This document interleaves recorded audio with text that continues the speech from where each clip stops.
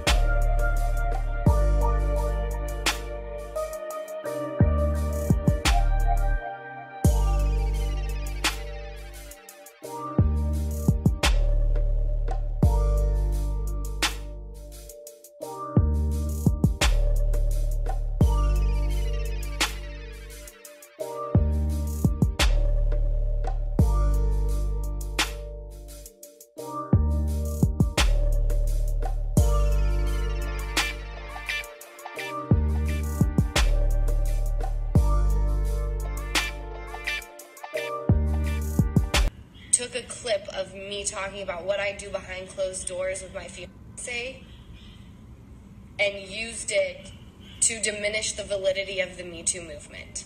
That I will not stand for. If you have been affected by a man like 50, do not be quiet. We're not to be silenced. I have your back, and we need to let these fuckers know that they are not safe. Because once they think they've silenced us, we are all fucked.